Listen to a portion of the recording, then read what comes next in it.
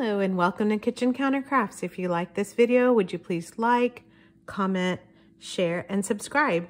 And if you would, please hit the bell icon for alerts for new videos. Okay, part two to the layered envelope journal. And I'm trying to make this kind of Valentine's pinkish theme. And I decided I'm not really positive I'm gonna do like the XOXO loves and kisses types of things. So even though I have that tissue, I'm not really gonna do that. So I'm just gonna try to, I guess, go through this and see what's in my stash and really use that up um, as best as I can. And so where we left off is that I had put some of the sprays onto this and this is where we're at right now. So very plain, some washi tape in here to kind of remind me that this is closed off. So I glued that down and that the envelope is really here and here, you know, that's closed down too. So I can use those areas to um, maybe embellish a lot more there. Then this little flap was just from this piece and I went ahead and just kind of fortified that and added to it. And I don't, I may just cut that straight or keep it. I don't, I have no idea what I'm going to be doing with this. And then this is just where we cut out and I don't know if I'm keeping that either. So that's where we're at. And while all of this stuff was drying, I went ahead and kind of gathered up some papers. So this is let me see if I have a bigger piece. I don't see a bigger piece. All right, so this is bicycle wrapping paper from the Dollar Tree. And what I did was I grabbed my, my sprays that I've made in another video. And these are glitter sprays, so you can see how pretty that is. And just kind of sprayed this with the gold, goldish, brownish and then some of the pink so you can see the sheen in that. But that is really plain old uh, wrapping paper. So possibly using this, I, I, I really like that. I think that's gonna work well with these colors. And then I grabbed just a piece of scrapbook paper that's eight and a half by 11. No real reason, I'm just trying to use up these eight by 11, eight and a half by 11s and then I also grabbed a 12 by 12 that I bought as, I don't know, it was like a discounted, so I have a whole bunch of those. And I grabbed a sheet of cardstock paper. So I have this one. I think that'll go well. I think this will go well. Don't know. It's like crazy, crazy flower. So I don't think all of these are to work together and play nice together. Anyway, I just grabbed a bunch of. And so I just thought I would start. Now, um, I do know I want to use the cardstock to make pockets and things like that. So one of the things that I found very, very helpful online is, you know, the, I don't know, I call them like extreme scrapbookers. They're, they make a lot of cards and they make the scrapbook albums, which I don't do. Uh, so they, they kind of have this thing called a 12 by 12. I don't know. I'll put a link to it. There's, it's like how to use a 12 by 12 sheet. And then they have all these lines on it that I've used in a different video. And I, of course, can't find it. So you kind of have to look it up. But I don't know if I need to look that up because basically they divided the paper into threes, which is, you know, about four inches uh, four inches and four inches.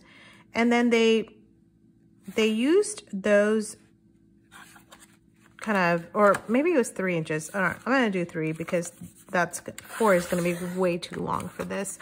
So then they div divvied up like the three inch piece, three, three inches by 12 and made a bunch of other stuff. So I think I'm going to just, ooh, sorry. Uh, I'm, I'm going to play this by ear, you know, big shocker because I'm not measuring again. But I think what I'm going to do is, is just go for it and um, use this to put in a few things that I think this needs. So one of the things I want is like either a belly band or a pocket. That's way too thin. So maybe that becomes a belly band somewhere else. All right, so let's set that aside. This is too thick for a pocket, probably like Snow, or not Snow White, but Goldilocks. This is too thick, this is too thin. So out of this one though, I'm gonna make um, some pockets for this. So as you can tell, I'm just eyeballing this, but I think that really does go into thirds. All right, so I'm just gonna uh, grab this and cut it. And I, am gonna need a couple pockets. So I'm just gonna go ahead and cut two out of this.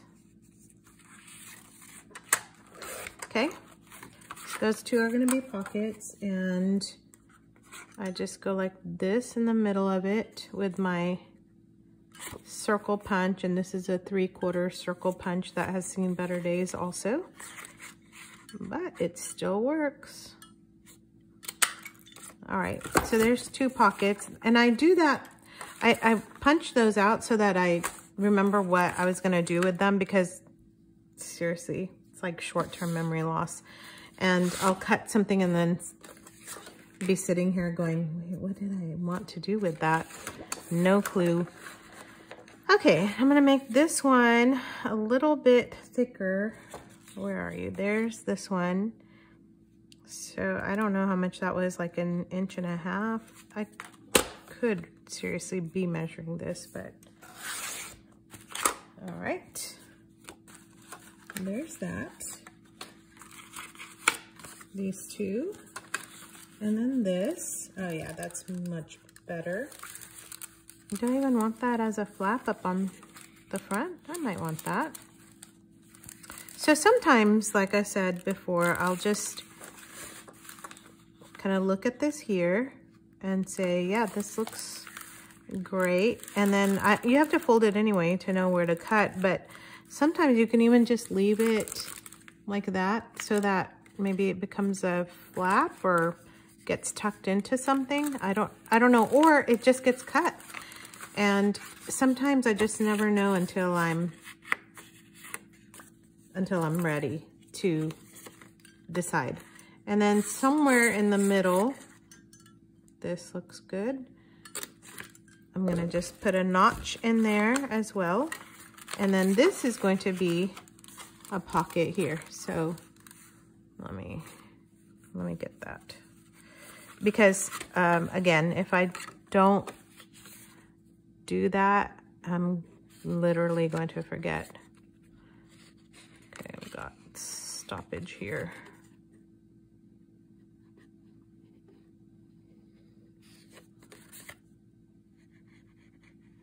Oh yeah, and a nice bead down here.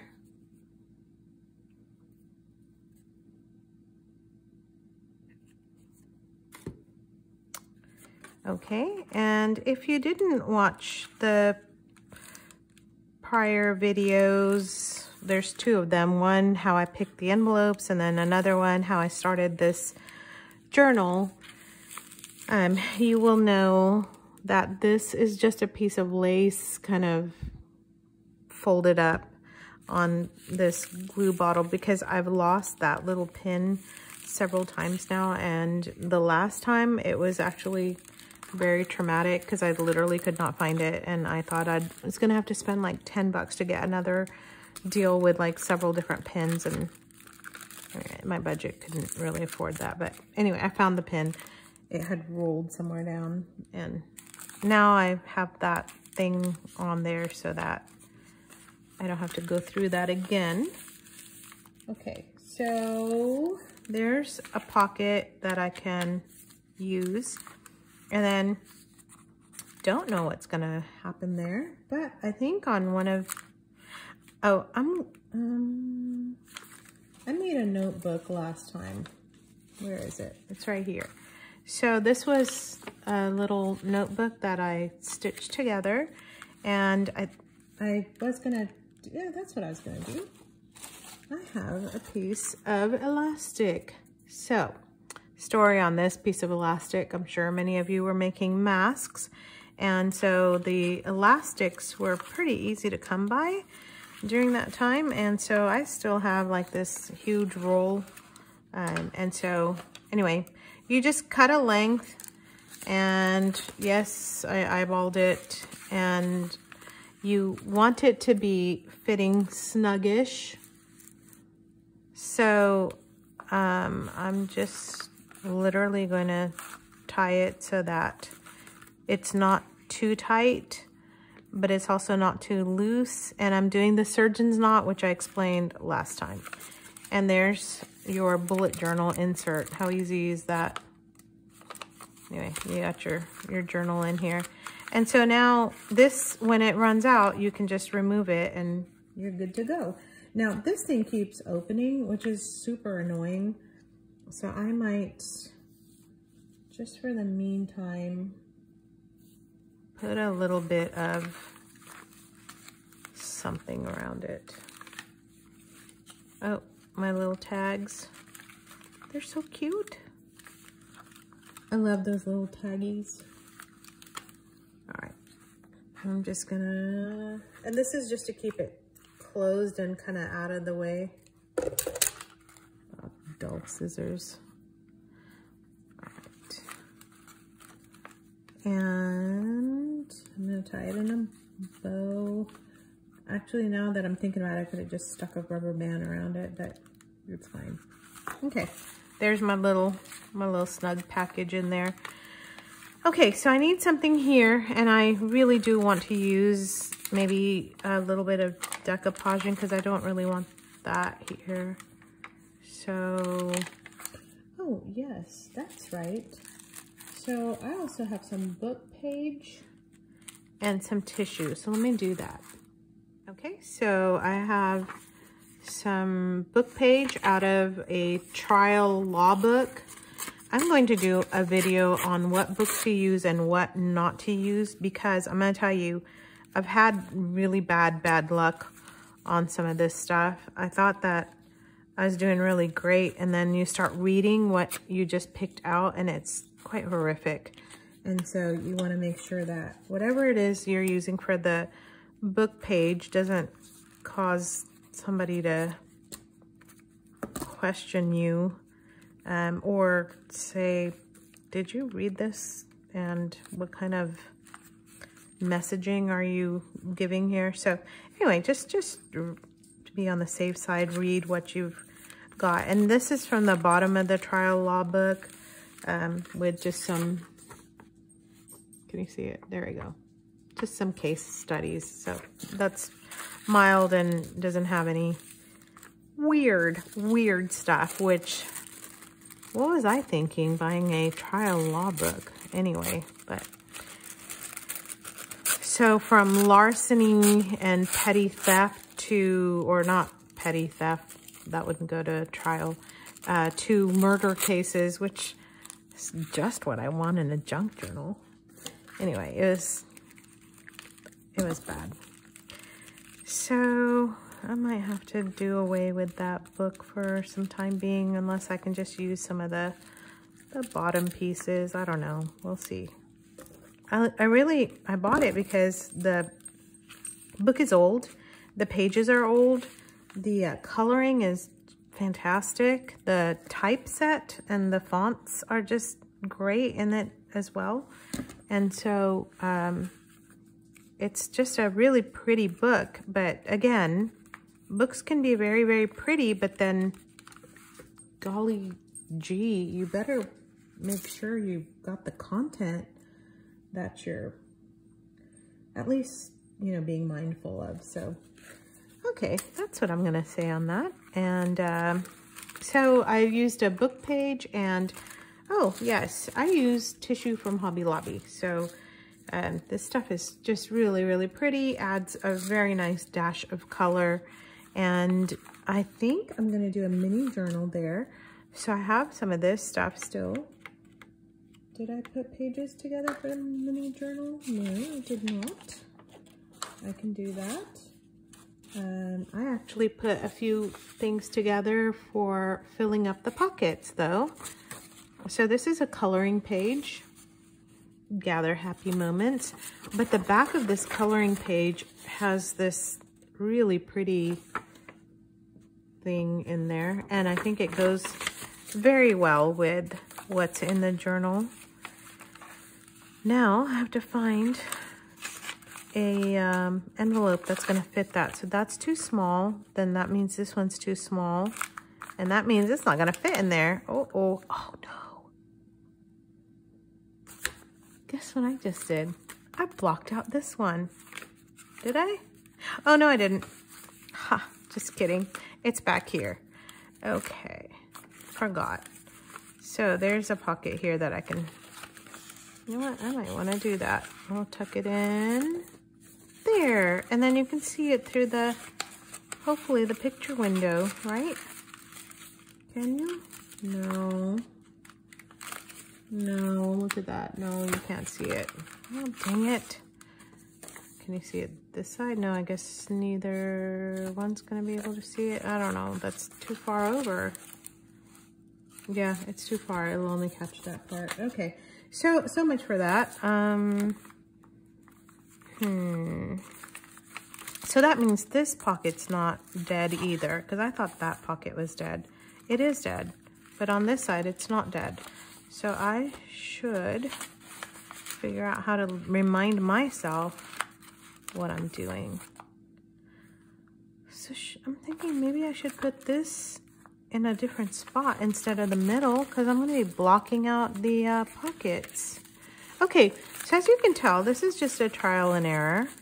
And I'm just crafting what as I go along. If you're looking for like a polished journal video, this is not it. I advise you to go somewhere else because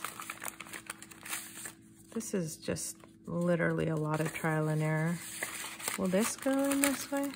No. Ay, caramba. Okay.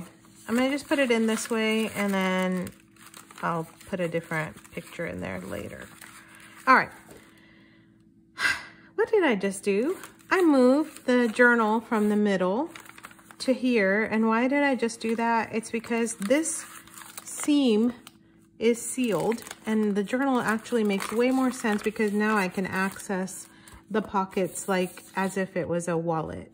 And then you're gonna be able to see a little bit of page sticking out. And then here you can see the pockets because I've got a notch. So that makes way, way more sense. And this has a notch, so you can tell. Okay, I am finally squared away with that. That is fantastic. All right, so another thing I have to put in, oh yeah, I wanna do this, is this um, page that I dyed with inks, uh, fountain pen inks. And so one of the things I really love to do, look at this pretty edge on there. And that's just from putting water in the inks that I'm cleaning out um, from my pens. So I fold this a little bit jaggedy so that you can see there's different layers. I'm gonna show it to you.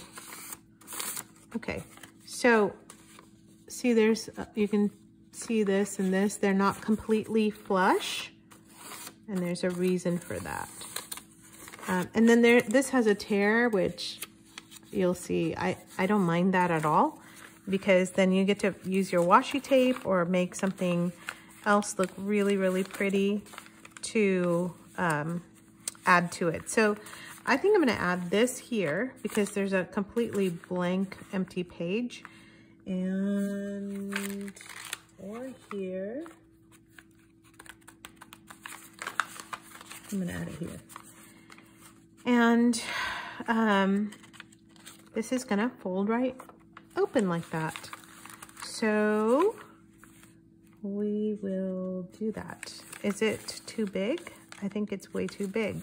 So you know what? I can even cut it right there and that would be fine. Oh, do I want to cut it or tear it? No, we're going to tear it.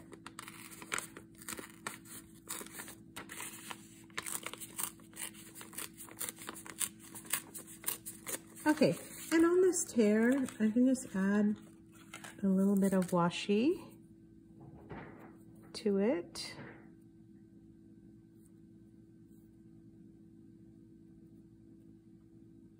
Maybe. Yes. Oh, come on. Does that ever happen to you where your washi's just not behaving? Okay, you know what? I might have to go with plan B washi. Come on, look at this. What in the heck? It's just, ugh, it's just shredded. There, it's kind of tearing all in terrible pieces, but we're gonna, if I don't wanna be here all day just trying to get my washi to behave, so we're gonna use a tattered, torn piece to put on here.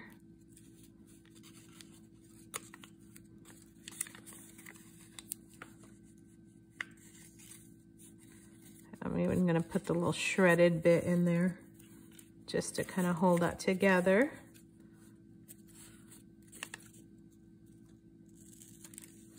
There we go. Okay, so there's a tiny bit of washi on the end there to catch whatever happened to the other one? Oh yeah, and I wanted to use this here.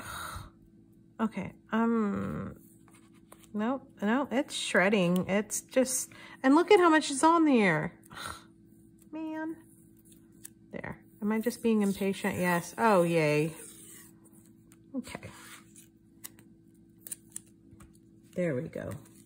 Get off of here.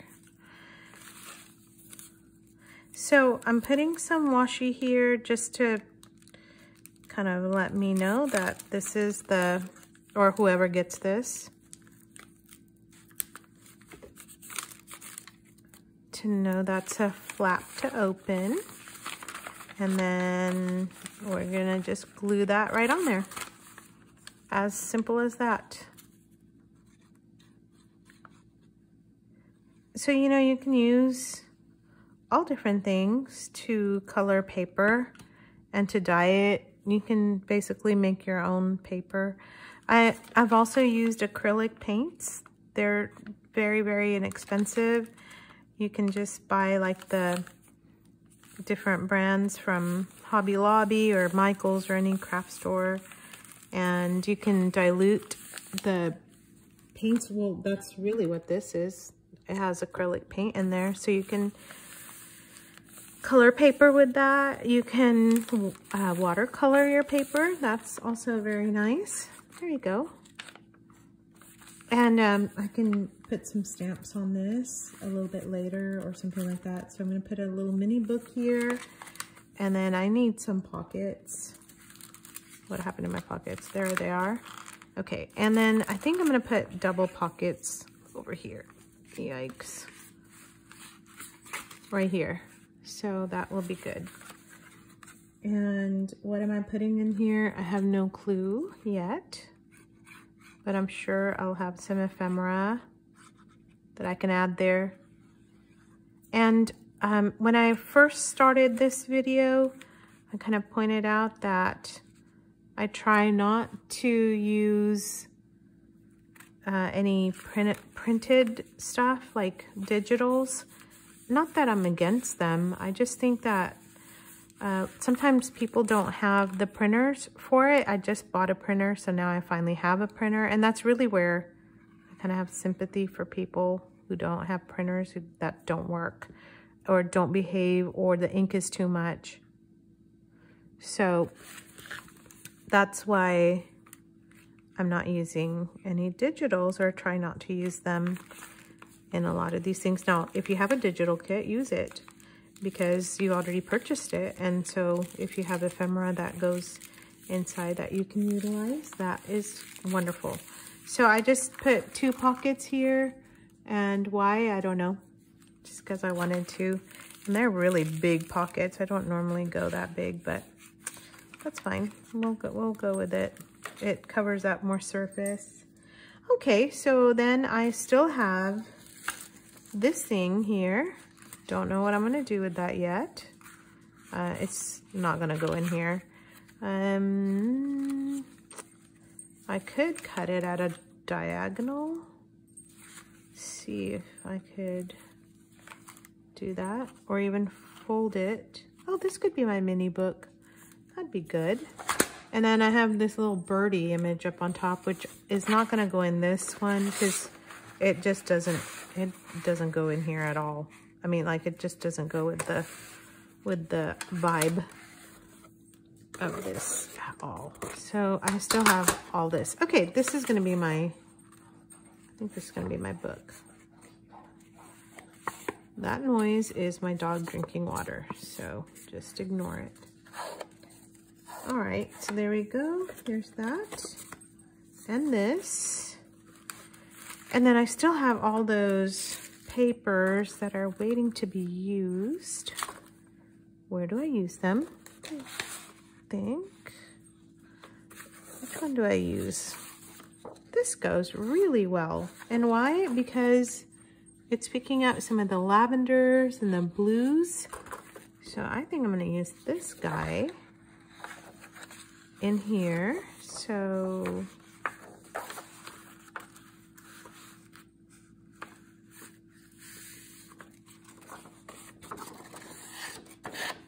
I'm not using the whole piece because uh, it my journal already has quite a bit of bulk in it and it's from this big journal, uh, bullet journal in there. So I I think the rest of the stuff that I'm going to tuck in here, oh boy, I just busted through my pocket, didn't I? No? Okay, I didn't. Um, rest of the stuff is going to be fairly flat. Um, so I'll add some ephemera there. And this can go partially inside the, yeah, inside my little mini book. That'll be good. So there's a couple pages for the mini book in here. I'm just gonna tuck those in. And that's this is how I work. I'll just put stuff off to the side a little bit. And then I have like this page, don't really know what to do with it. It's pinkish. I have this page, don't know what to do with that. And so I have a few things there. Oh yeah, I knew what I was gonna do. Okay, so the, the book's gonna go down here. And then I still have a belly band which I can't use here. I can use it here though. Do I want to do this and this? Maybe I do the book there, but I don't want this covered. Okay. So I can put this here. Hmm. Don't know. I'm now having issues trying to determine what I want to do. Okay, so um, this is something that my daughter showed me. It's just a flat, uh, fold open flat. Let me just do this while I'm thinking this through. So you want a perfectly square piece of paper, okay? So how do you get a perfectly square piece of paper? Well, you fold it